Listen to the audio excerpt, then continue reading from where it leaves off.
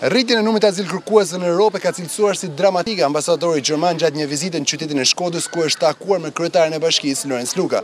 Gjatë këtij takimi është folur edhe për investime gjermane në vendin tonë. Ambasadori gjerman ka thënë se Gjermania është nga ato vende që e ka traditë dhënien e azilit për ata që paraqesin kërkesë, por ato verifikohen në mënyrë të kujdesshme.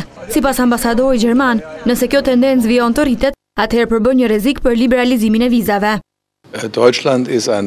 Rritja e numrit të azilkërkuesve përbën një problem për ne.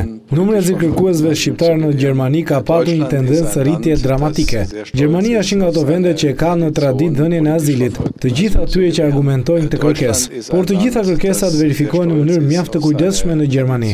Dhe nëse shikoni statistikat maksimumi i një në njëqind azilkërkues e marrin statusin e azilantit. Pra konkluzioni është i qartë. Këtu bëhet fjalë për një emigrim ekonomik. Dhe praktika tregon që pothuajse të gjithë ata shqiptarë që janë përpjekur të përfitojnë statusin e azilantit në Gjermani, janë kthyer sërish në Shqipëri.